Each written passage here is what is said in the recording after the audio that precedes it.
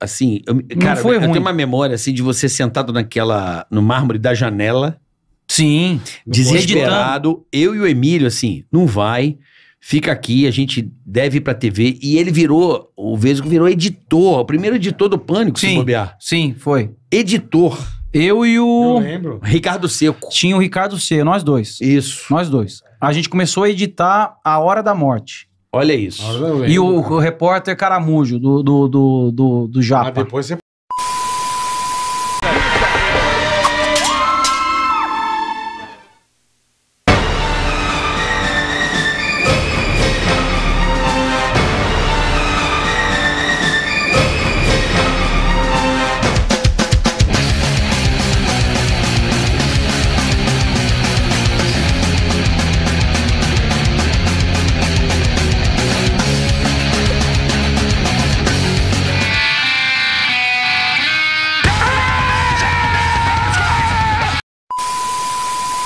O Emílio falou assim: não, não vai, tá, acabou esse, esse corvo aí, vamos, ah, a gente vai começar um negócio aqui novo, vamos, vem, vem pra cá.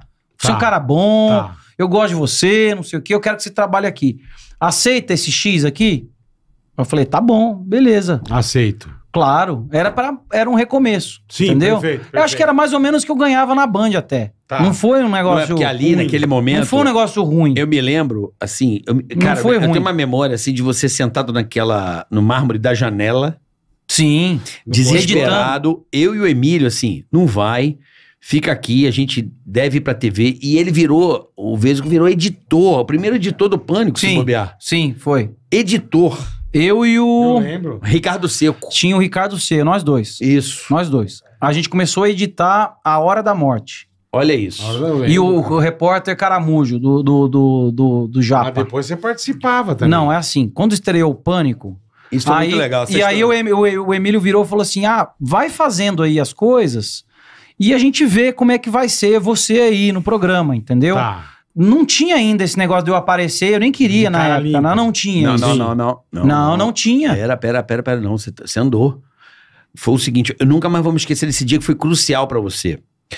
Na O abertura do Pânico? Não, isso, você, part... você apareceu na abertura, não, não? sim, tô falando antes. O processo de construção. Ah, não, não, processo. Quando tava gravando aquelas Pra mim, vinhetas. não, mas pra mim o que foi definitivo, eu tenho isso muito fresco na minha mente. O Pânico, ele foi patrocinado pela Vivo. Isso. Primeiro patrocinador do Pânico. Aham. Foi. Aí, o Pânico ia estrear, sei lá, em um mês, né? Uhum. E a gente tava testando algumas coisas, com Sim, câmera qualquer. Coisa pra caralho. É. Aí, esse cara tava enchendo o saco do Emílio pra gravar um negócio. E tinha uma festa naquele. Onde é o Santander hoje, aquele prédio ali na Juscelino, que era um prédio esqueleto. Teve uma festa da Vivo ali, fudida. Foi, foi. Aí, cara, esse dia eu ri pra caralho. E ele foi gravar. Pediu a câmera e falou: me dá aqui que eu vou gravar. Ele- É, foi, foi. Foi isso aí? Ele descabelou a Mauri Júnior, rodou a Preta Gil, foi, fez umas puta barbaridade. Não, e o era- Emílio chorava, falou: mano, esse cara é muito louco. Não era, não era Preta Gil, era Preta era Gil. Não, era Era a Preta Gil, sim senhor. Cara, Você quem- rodou ela lá? Não! Você rodou ela assim. Eu falei, Não. cara, esse cara é muito louco, mano. Não, Você era de rodar. esse- Eu lembro do saco do Ronivon. Tô falando pra você, cara. Coitado. Não, então, nesse, nesse dia era repórter estagiário. Mas, não o programa tava no ar não o pânico. Não, o pânico não tinha estreado ainda. A gente tava gravando os quadros Os na rua. pilotinhos. Testando. E aí vocês foram pra fazer um merchan, eu acho, pra Vivo, exato. Não era, era um merchan. evento, era um evento. A gente foi lá fazer é, um- presença era no evento média. do patrocinador. Isso, isso. E, aí, você gravou. Aí eu aproveitei que já estava lá, ia ter uns Deixa eu famosos. gravar. Eu falei assim: me dá a câmera, Aham. deixa eu fazer uns negócios aqui. Aham. Aí ele me deu a câmera e eu comecei a. Eu entrevistava e não deixava o nego falar. Não deixava os caras falar, Você entendeu? perguntava, mas não deixava a pessoa falar. Não deixava os caras falar. Tá. É, e aí foi isso aí. Acho que né, depois veio o negócio de tirar o microfone, de tirar Ah, o cabo, o lembro, cabo. lembro. Mas nessa festa, nessas festas aí, eu entrevistava e tirava. Entrevistava, falava, Tá. o que que você, ô, Luciana Gimenez, o que que você acha de não sei o quê? Aí ela respondia, eu dava Você um dava segundo. falei, tirava. obrigado, Emílio Surita, valeu, até mais. E aí, isso aí não foi o, o, o que foi pro ar, né? Até Tá. chegou pro ar depois. Aí eu era repórter estagiário. Eu lembro assim de você, cara, esse Não dia. era repórter a gente tava Ainda não. Ainda a gente não. tava ainda meio não. perto olhando ele gravar. A gente tava eu e o Emílio no camarote, ele gravando aqui embaixo. Caralho, eu e o Emílio, a gente saiu de perto. Falou, mano, esse moleque não fez isso. Aí tava o Mauri Júnior. Ele pegou a Mauri, meu, fez assim, ó, no cabelo do cara. Gente, caralho, esse cara é muito louco, brother.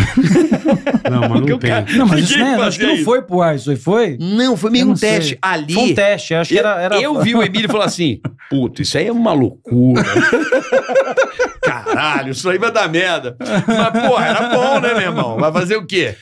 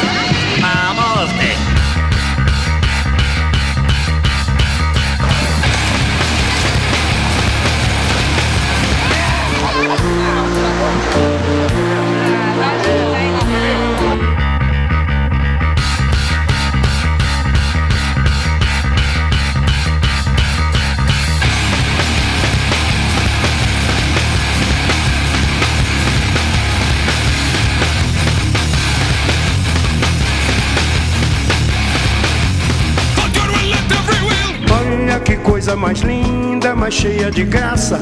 Ela, menina que vem e que passa, num doce balanço a caminho do mar.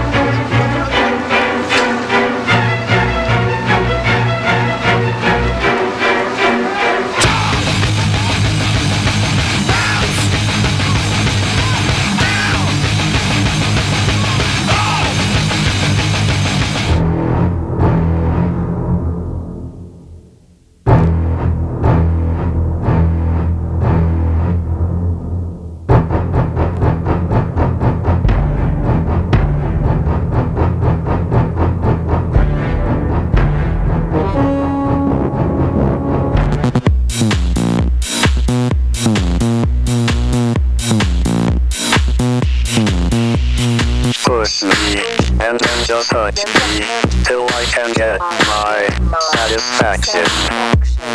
Push me, and then just touch me, till I can get my satisfaction. A morte